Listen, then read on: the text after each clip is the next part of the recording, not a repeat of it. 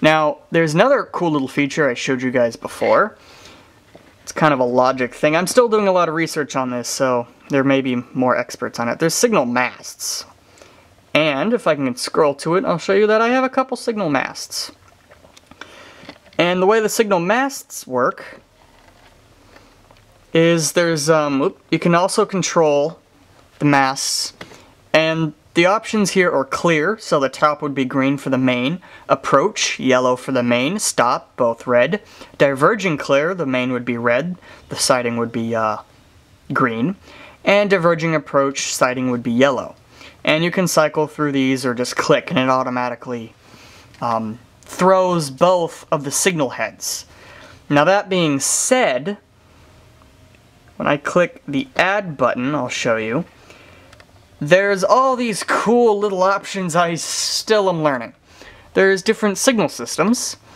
Um, there's NYC rules. These are just the protocols and how the signals work.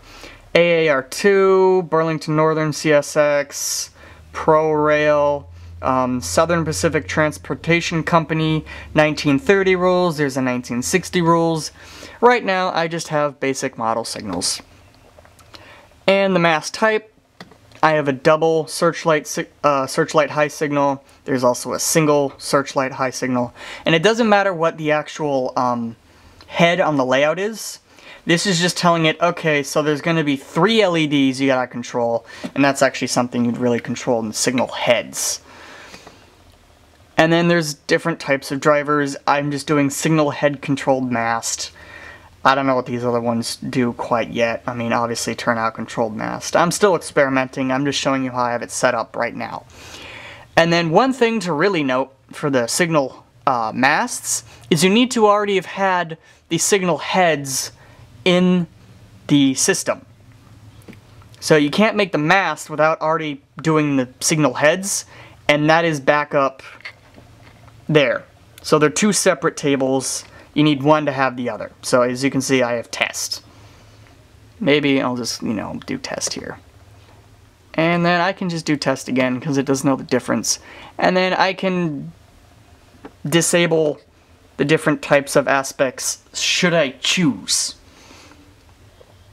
I'll just click OK. Now username has been defined because I'm an idiot. I skipped a step. I'm sorry. So you probably want to have a username. And we'll just do test.